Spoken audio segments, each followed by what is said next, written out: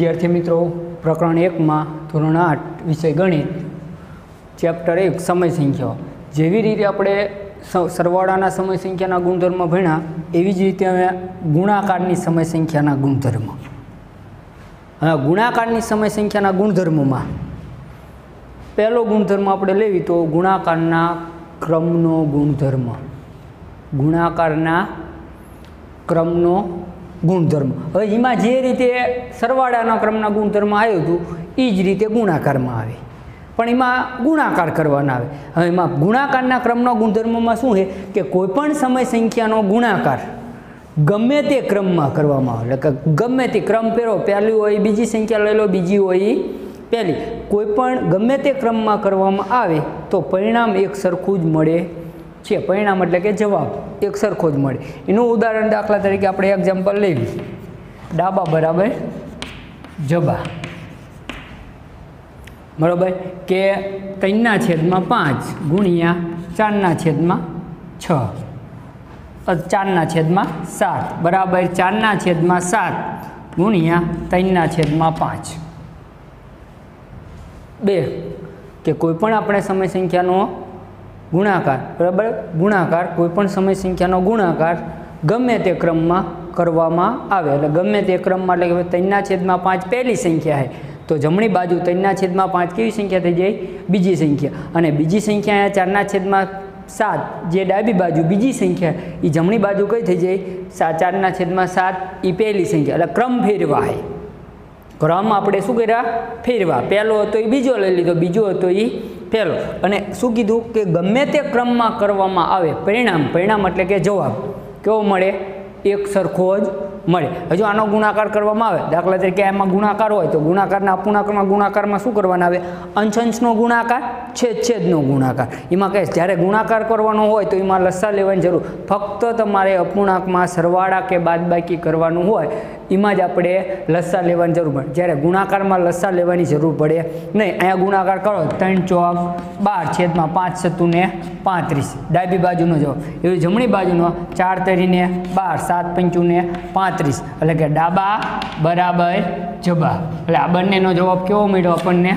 એક સરખો બરાબર? એટલે આના ઉપરથી આપણને પહેલો જ ગુણાકારના ક્રમનો ગુણધર્મમાં છે કે કોઈપણ સમય સંખ્યાનો ગુણાકાર ગમે તે ક્રમમાં કરવામાં આવે તો પરિણામ એક સરખું જ મળે છે. પરિણામ એટલે કે બંનેનો જવાબ એક સરખો કે બારના છેદમાં પાંત્રીસ આવ્યો, અહીંયા પણ જમણી બાજુ પણ બારના છેદમાં પાંત્રીસ. હવે આપણી પાસે બીજો ગુણધર્મ છે જૂથનો. આ જૂથના ગુણધર્મમાં શું છે એ જ રીતે જેમ સરવાળાનો કર્યો તો એમાં કોઈ પણ બે સંખ્યાનું જૂથ બનાવ્યું. આમાં પણ સમય સંખ્યામાં શું કરવાનું? કોઈ પણ ત્રણ સમય સંખ્યા છે. આ ત્રણ સમય સંખ્યામાંથી આપણે શું કરવાનું? બે સમય સંખ્યાનું જૂથ બનાવવાનું અને ત્રીજી સમય સંખ્યા સાથે ગુણાકાર. જેમ સરવાળો કરતા હતા ત્રીજી સમય સંખ્યા સાથે, એવી જ રીતે આપણે ત્રીજી સમય સંખ્યા સાથે શું કરવાનો? ગુણાકાર. અને પરિણામ કેવું મળશે?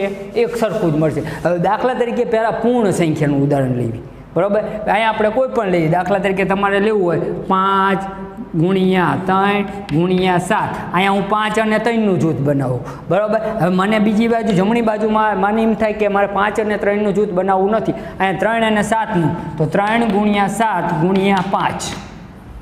સમય સંખ્યા ત્રણ ત્રણમાંથી મેં પહેલાંમાં સમય સંખ્યામાં કયું જૂથ બનાવ્યું? પાંચ અને ત્રણનું. અને બીજા જમ, બીજી ઈમાનીમાં બીસી શું કર્યું મેં? ત્રણ અને પાંચની જગ્યાએ મેં ત્રણ અને સાતનું જૂથ બનાવ્યું. બરાબર? હવે આનો ગુણાકાર કરવામાં આવે તો પાંચ કરીને પંદર ગુણ્યા સાત. પંદર સત્તાને એકસો પાંચ. એટલે આનો જવાબ આપણને ડાબી બાજુનો શું મળ્યો? એકસો ને પાંચ. એવું જમણી બાજુનું. પહેલાં જૂથ કયું બનાવ્યું હોય. ત્રણ અને સાતનું. સાત કરીને એકવીસ ગુણ્યા પાંચ. એકવીસ અને પાંચનો ગુણાકાર કરો. એકવીસ પંચા એકસો પાંચ. એટલે જમણી બાજુનો જવાબ. એટલે કે ડાબા બરાબર જબા. આજે આપણે પૂર્ણ સંખ્યાનું ગુણધર્મનું ઉદાહરણ લીધું. એવી જ રીતે આપણે અપૂર્ણાંકનું લેવી. તો અપૂર્ણાંકમાં આપણને કોઈ પણ સમય સંખ્યા લઈ લેવાય. ત્રણ પણ. કેટલી લે સમય સંખ્યા લેવાની?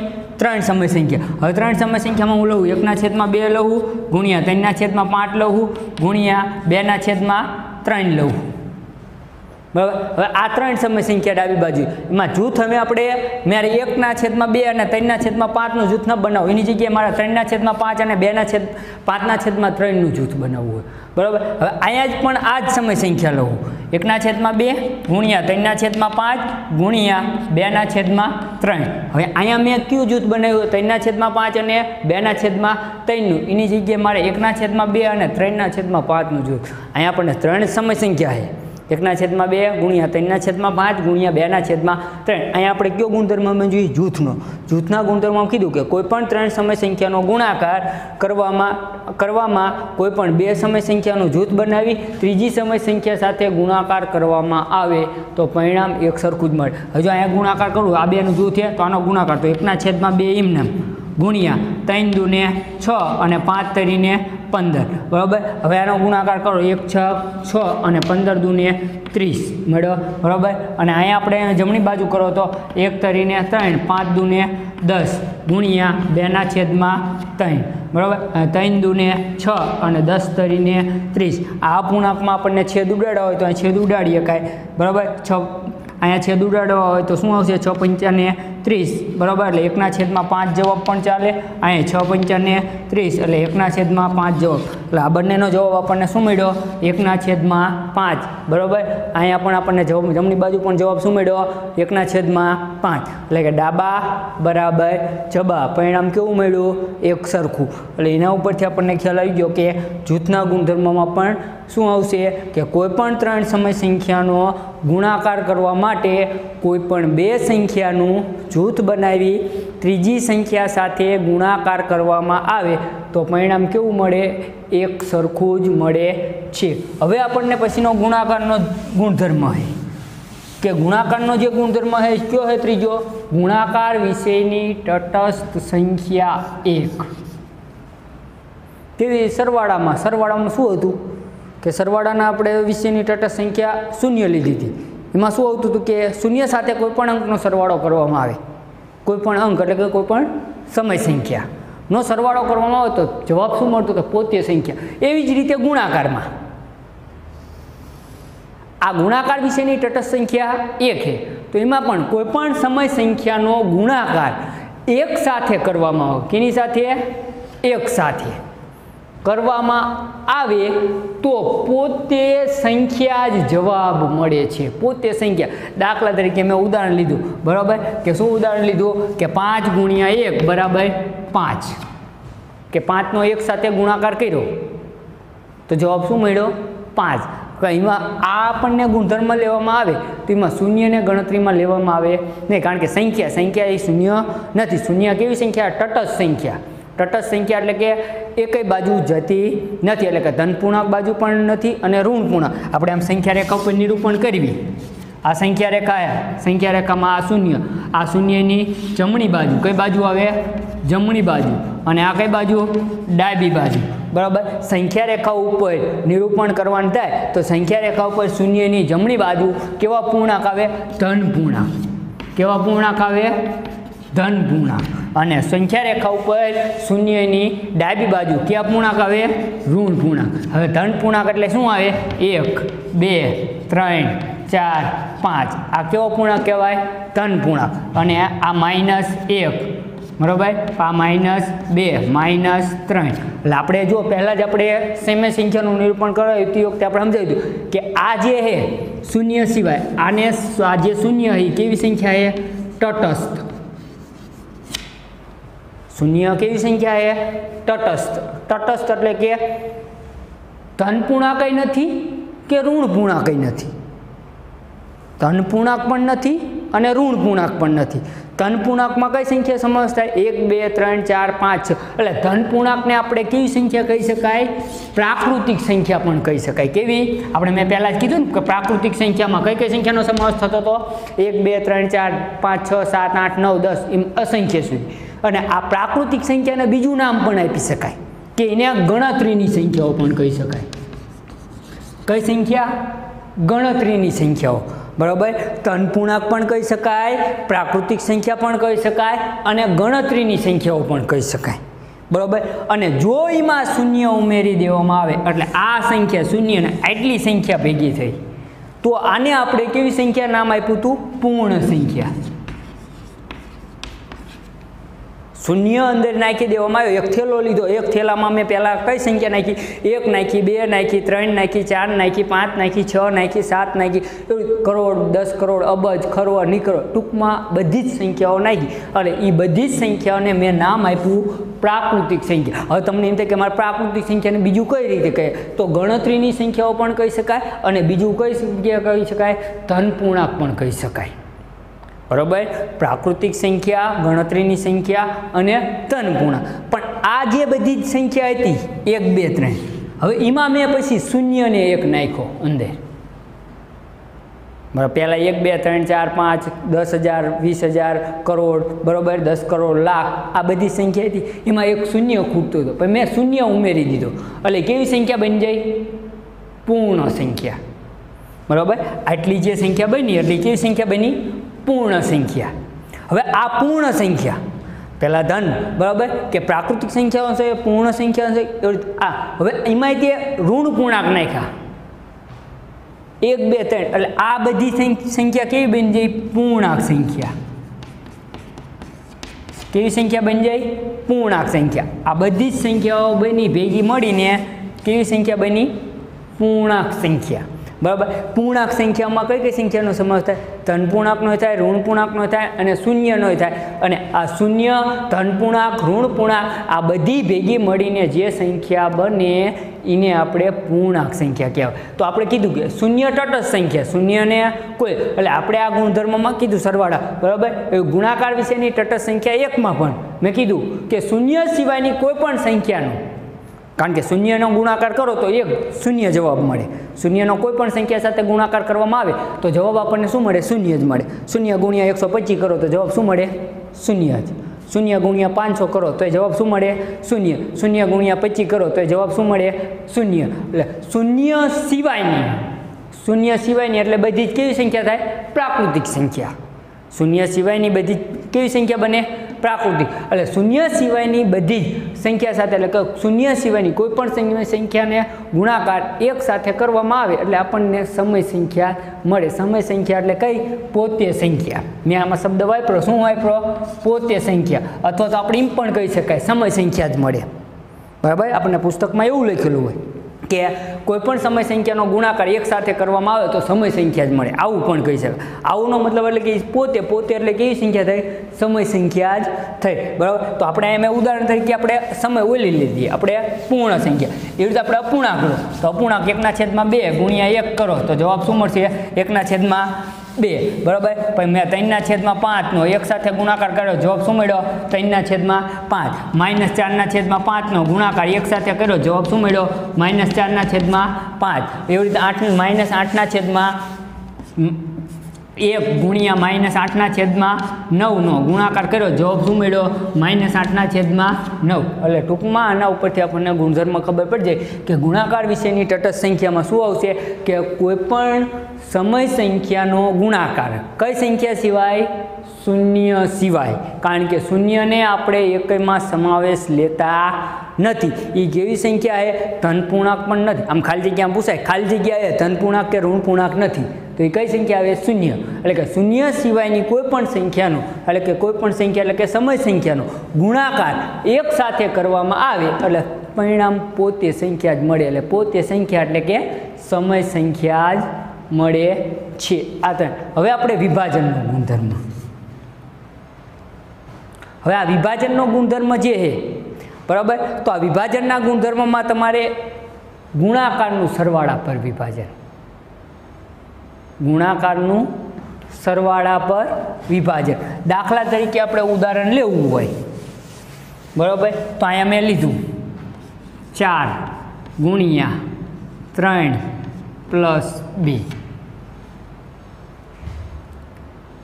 બરાબર? ચાર ગુણ્યા કૌંસમાં ત્રણ પ્લસ બે. એટલે ગુણાકાર અને સરવાળાની બંનેની શ્રેણી આવે એટલે સમજી જવાનું કે વિભાજનનો ગુણધર્મ જોઈ ગુણાકારનું સરવાળા પર વિભાજન. કઈ રીતે? તો ચારનો પહેલાં કિની સાથે? જમણી બાજુ કરવાનો. કે ચારનો ત્રણ સાથે ગુણાકાર અને ચારનો બે સાથે ગુણા અને એ બંનેનો જે જવાબ મળે, એનો શું કરવાનો? કેસ બંનેનો સરવાળો. હવે આનો વિભાજન કરો એટલે શું આવશે? કૌંસમાં ચાર ગુણ્યા ત્રણ પ્લસ કૌંસમાં ચાર ગુણ્યા બે. ડાબા બરાબર જબા. ડાબા બરાબર જબા. એટલે કે ડાબી બાજુ અને જમણી બાજુ. હજુ આનો આપણે ગુણાકાર ડાયરેક્ટ કરી કે જો આનું સાદુરૂપ પણ થાય, તો આ બંને જવાબ કેવો મળશે? એક સરખો. ત્રણ અને પાંચનો, પહેલાં શું કહી નાખવાનો? સરવાળો. એટલે ચાર ગુણ્યા ત્રણ અને પાંચનો સરવાળો કરો એટલે એટલે ત્રણ અને બેનો સરવાળો કરો, એટલે શું થાય? પાંચ. પાંચ અને ચારનો સરવાળો ગુણાકાર કરી નાખો, એટલે પાંચ ચોક વીસ. એટલે આનો જવાબ ડાબી બાજુનો આપણને શું મળ્યો? વીસ. એવી રીતે અહીંયા શું આવશે?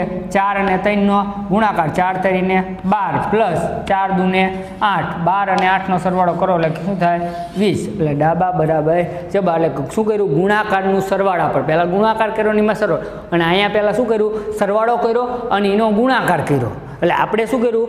ગુણાકાર હતું, એનું કિના ઉપર વિભાજન કર્યું? સરવાળા પર. એટલે શું અહીંયા ગુણધર્મ છે? ગુણાકારનું સરવાળા પર વિભાજન. કે આ રકમ આપેલી છે આપણને. બરાબર? તો એમાં આપણે ડાયરેક્ટ પહેલાં શું કરવાનું? ગુણાકાર આપેલો. તો ગુણાકાર આપણે કરતા નથી. પહેલાં સરવાળો. સરવાળો કરીને કેની સાથે? કે ત્રીજી સંખ્યા જે આપણને હે, એનો ગુણાકાર કર્યો. એટલે આપણને વીસ. એટલે આ ગુણાકાર કર્યો. એટલે ગુણા. એની જગ્યાએ આપણે શું કર્યું? ગુણાકારનું સરવાળો. પહેલાં ગુણાકાર કરીને પછી સરવાળો કર્યો. તો જવાબ પરિણામ શું મળે? એક સરખું. એવી રીતે આપણે આ સમય સંખ્યાનું પણ ઉદાહરણ લઈ શકીએ. આ ટૂંકમાં આપણે ઉદાહરણ તરીકે નાની સંખ્યા લીધી. એવી જ રીતે આપણે કોઈ પણ બીજી સંખ્યા દાખલા તરીકે અપૂર્ણાંક લેવા છે એકના છેદમાં બે સમછેદીય પૂર્ણાંક લેવી. બરાબર? ગુણ્યા. ત્રણના છેદમાં, એકના છેદમાં પાંચ, છેદમાં ત્રણના છેદમાં પાંચ પ્લસ બેના છેદમાં પાંચ. એટલે આપણને સરળતા રહે. બરાબર? આવી કોઈ પણ સમયે ટૂંકમાં શુદ્ધ પૂર્ણાંક હોય કે અશુદ્ધ પૂર્ણાંક. આનું વિભાજન કરો એટલે શું કરવાનું? કે ગુણાકારનું સરવાળા પર વિભાજન કરો એટલે આ ગુણાકાર. તો એકના છેદમાં પાંચનું શું કરવાનો? ત્રણના છેદમાં પાંચ સાથે ગુણાકાર. એકના છેદમાં પાંચ ગુણ્યા ત્રણના છેદમાં પાંચ. પ્લસ શું આવશે? એકના છેદમાં પાંચનો કેની સાથે ગુણાકાર કરવાનો? બેના છેદમાં પાંચ. એકના છેદમાં પાંચ. પ્લ ગુણ્યા બેના છેદમાં પાંચ. આ થઈ ગયું વિભાજન. ગુણાકારનું આનો ગુણાકાર પહેલાં આ બંનેનો સરવાળો કરો. તો એકના છેદમાં પાંચ, એમનામ ગુણ્યા. બરાબર? આ બંનેનો છેદ કેવો હોય? સરખો. એટલે કેટલી વાર લઈ લેવાનો? એક વાર. એટલે છેદમાં પાંચ, એક વાર અંશનો ત્રણ પ્લસ બે. ત્રણને બે, પાંચ. એટલે એકના છેદમાં પાંચ ગુણ્યા ત્રણને બે, પાંચ. પાંચના છેદમાં પાંચ પાંચ એકા પાંચ. એટલે જવાબ આપણને શું આવશે? એકના છેદમાં પાંચ. એક એક એક છેદમાં પાંચ. અંશ અંશનો ગુણાકાર, છેદ છેદનો ગુણાકાર. એવી રીતે અહીંયા કરો, એટલે આપણને શું મળશે? ત્રણ એકા ત્રણ છેદમાં ત્રણ એકા ત્રણ છેદમાં શું આવશે? પચો પચો ને પચીસ. બરાબર? પ્લસ શું આવશે? એક ગુણ્યા બે કરો. બે એકા બે છેદમાં પચો પચો ને પચીસ. મળી ગયો. હવે બંનેનો છેદ કેવો હોય? સરખો. કેટલી વાર લઈ લેવાનો? એકવાર. છેદમાં પચીસ, એકવાર. ત્રણ પ્લસ બે ત્રણને બે, પાંચ. પાંચના છેદમાં પચીસ. અહીં છેદ ઉડ્યા પચો પચો, પચીસ. એટલે જવાબ શું મળ્યો? એકના છેદમાં પાંચ. બંનેનો જવાબ કેવો મળ્યો? એક સરખો. એટલે ટૂંકમાં આપણને ખબર પડી જાય કે ગુણાકારનું સરવાળા પર વિભાજન. અહીંયા આપણે ફક્ત ગુણધર્મ વિશે જ આપણે સમજણ કરી. હવે ગુણધર્મમાં કે જોયું તો આપણે કીધું આનું પુનરાવર્તન કરી લેવી. બરાબર? કે સરવાળાના સમય સંખ્યાના ગુણધર્મ અને ગુણાકારના સમય સંખ્યાના ગુણધર્મ. સરવાળાના સમય સંખ્યાના ગુણધર્મમાં ત્રણ આવતા હતા. ક્રમનો ગુણધર્મ, જૂથનો ગુણધર્મ અને સરવાળા વિશેની તટસ્થ સંખ્યા શૂન્ય.